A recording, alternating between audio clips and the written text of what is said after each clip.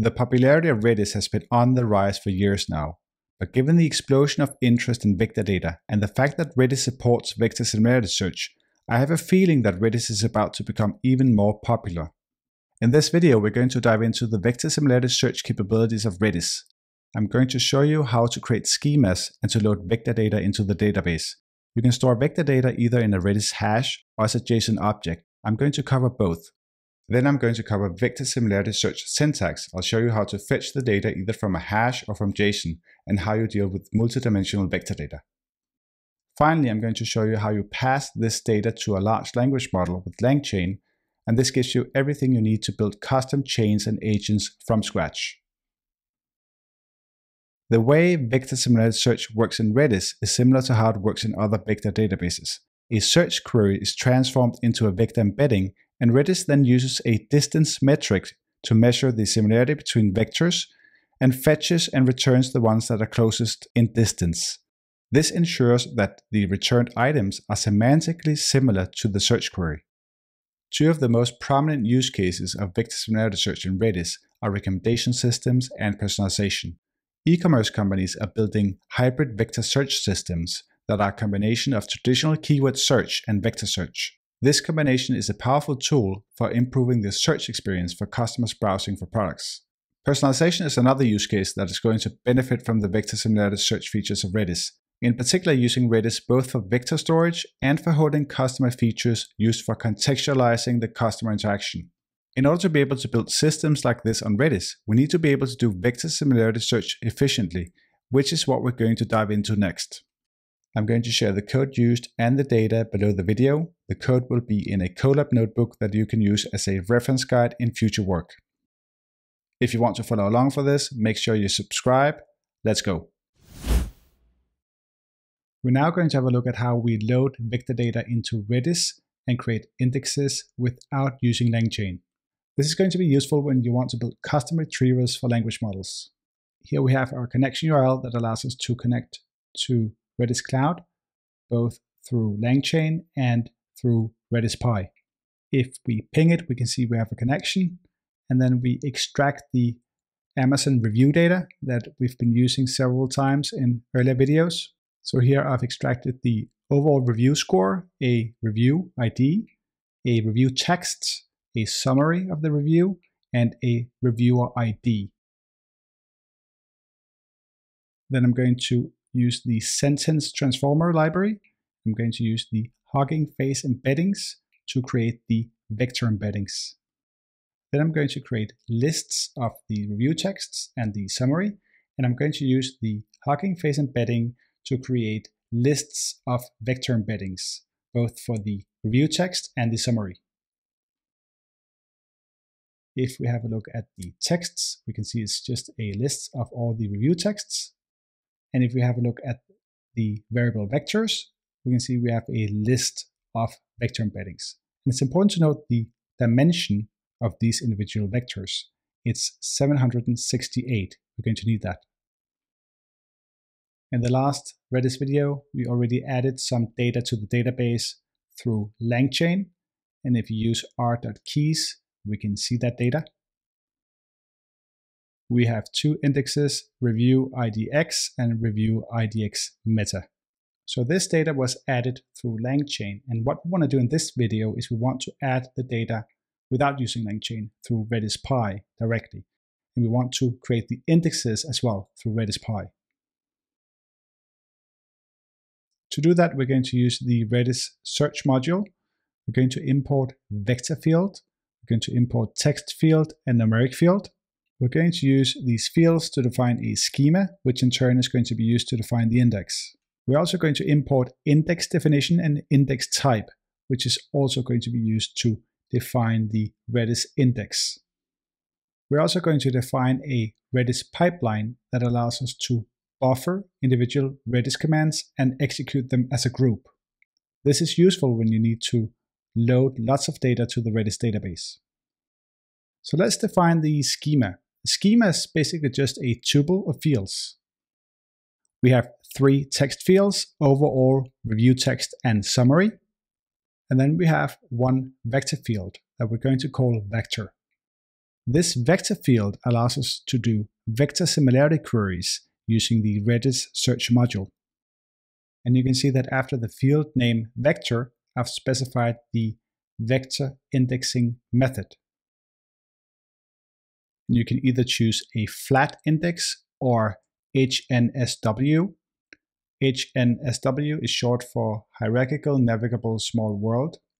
And you want to go with HNSW if you prefer speed over recall. That is, if you prefer speed over the quality of the results. You can also see that I've included the dimension in this schema, which is 768 in our case. We also need to specify a distance metric. In this case, I'm using cosine. This could also have been the Euclidean distance or the inner product. So this defines the schema, and now we can actually go ahead and define the index.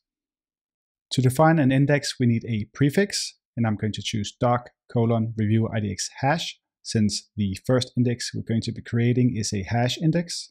Then we use the schema we just created to set the fields, and we use the index definition that we imported to set the prefix and the index type, in this case a hash index. If we execute this, we get an index. Next, we need to upload some data. So what I'm going to do, I'm going to loop through the reviews, which is the data frame that we transformed into a dictionary. Then I'm going to set the key that we want to store in Redis equal to the prefix plus the review ID. I'm going to use the review dictionaries to form the records, and then I'm going to add an extra key with the vector, the embedding.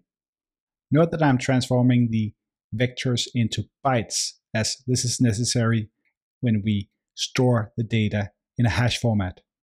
And then we use hset and the pipeline to store these hashes in bulk. If we run ft.underscore list, we see that the new index has been created, review idx hashed. We can see that the keys have been uploaded to the database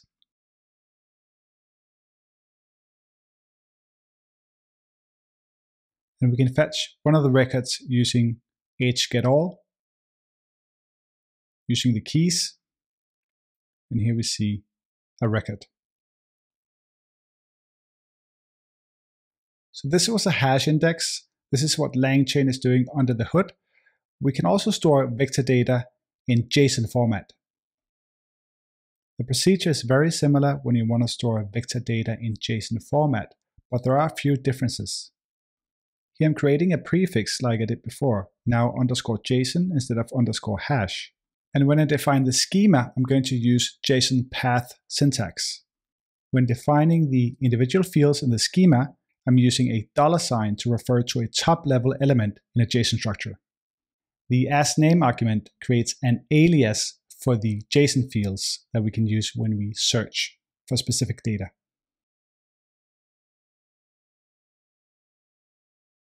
So we can create this index like we did before using index definition. And then we load the data, looping through the reviews using the pipeline. Same as what we did with the hashes. The only difference is that here we can save the vectors directly. We don't have to transform them into bytes because we're storing this as JSON objects. If we execute ft dot underscore list, we can see we have the new index review idx JSON. And we can see that we also added the new keys to the database.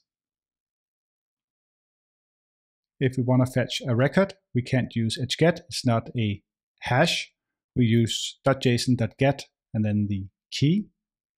And then we add the dollar sign and note that the vector is actually in a readable format in this case. Redis also allows you to store multiple numeric arrays as a vector. This can be useful if you have two vector embeddings representing the same object. To see this, let's create a new schema. This time we call it review idx underscore json underscore multi because it's multi-dimensional. Here we have almost the same notation as we did with the JSON object with one vector, except for the vector field, where we here specify the JSON path using square brackets and an asterisk. We upload the data in the same way we did before. Note that the key containing the vector field is called vectors, and it's two-dimensional. Contains the vectors and the summary vectors.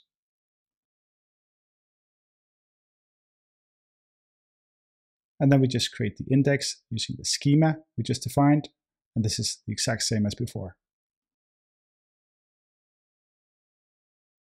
And again, checking the keys to see if we uploaded the data correctly. And here we have review IDX JSON multi.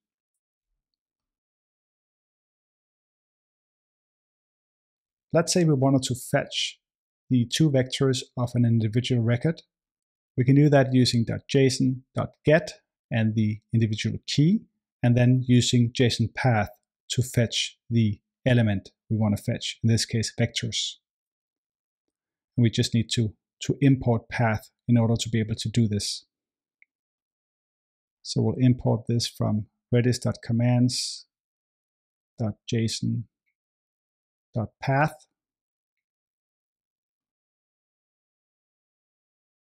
And then we can fetch the two vectors. Next up, let's see how we do vector similarity search in Redis. The way we do vector similarity search in Redis is that we first formulate the k nearest neighbor query, which is the search logic. And here the first part of the query logic is knn and then the number 5, which is the number of requested results. Then we use the at symbol to make a reference to the field we want to query. In this case, we're using the alias we created called vector. Then we are using the dollar sign to indicate that we are adding the search query as a parameter to the vector similarity search. And finally, we're specifying a distance name called vector score that we can use for sorting the results.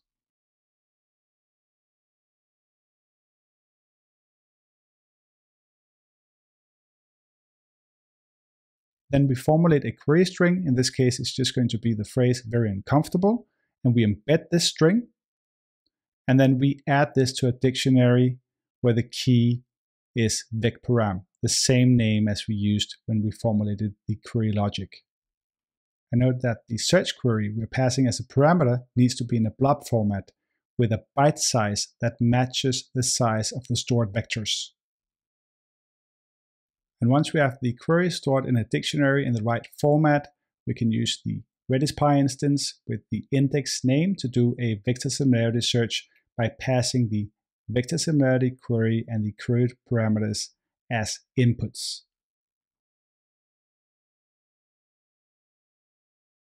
So let's try to run this in the notebook and see what we get. Let's have a look at the results. And here we have the five records where the review or the summary is closest in distance to the query string when we define the distance using cosine similarity. We can of course also filter results and that's called a hybrid vector similarity search. So let's say we only want to fetch the reviews that has an overall score of 3 and to do this, we're going to replace the asterisk we had before the arrow in the query syntax with a filter. So we want add overall colon 3 to get all the reviews with a score of 3. So let's try to run this and note I'm querying a different index this time, the hashed index.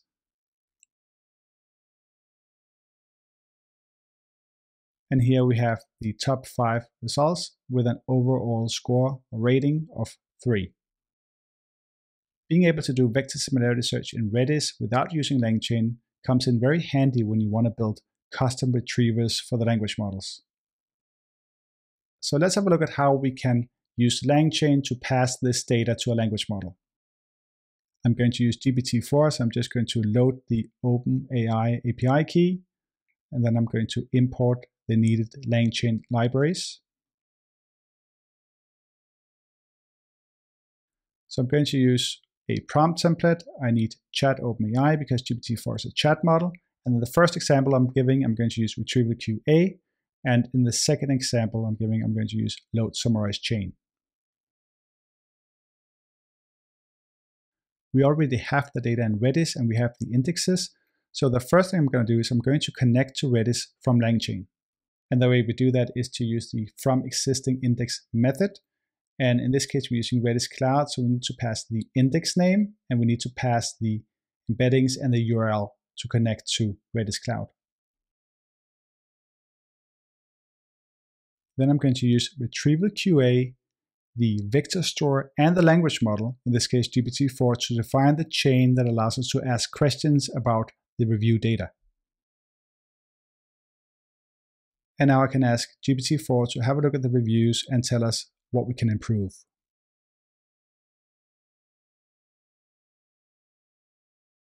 And here we have the output from GPT-4 with a nice summary of the reviews and some specific recommendations on what we can improve. And if you want this in a nicer format, just print the results.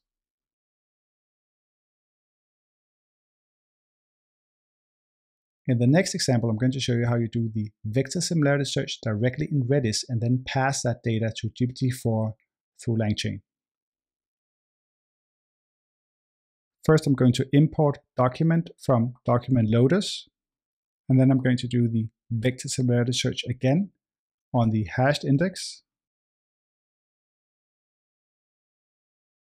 In order to pass the vector similarity search results to LangChain, we need to transform the results into documents using the document utility we just imported. So I'm going to loop through the vector similarity results. Then I'm going to create a string out of the text in each record and create a document out of that string. And now I have the data in the right format as documents that I can pass to the language model through load summarize chain. And here I'm simply using load summarize chain to ask GPT-4 to summarize the reviews. So this is how we can pass data that we get from a direct vector similarity search to a language model through LangChain. Alright, that's it for now. If you enjoyed this video, like and subscribe. Thanks for watching.